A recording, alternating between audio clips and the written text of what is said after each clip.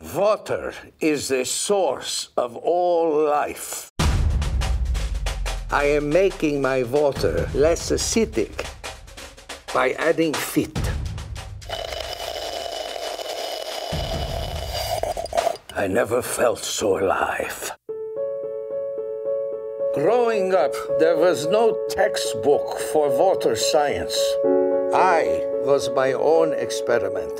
Fascinating. If you want to learn the secrets of water, there is one book I would ask you to read Get Phit. And if you have time for the sequel, Unfuck Your Water.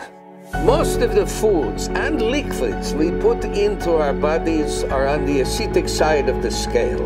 Even so called alkaline water is a little closer to the acid side than they would like to admit.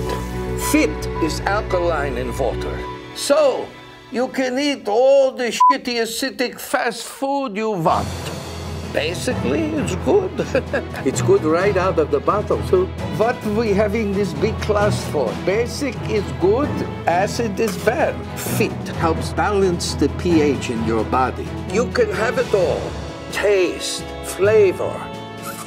That is good water. Earn your PhD diploma.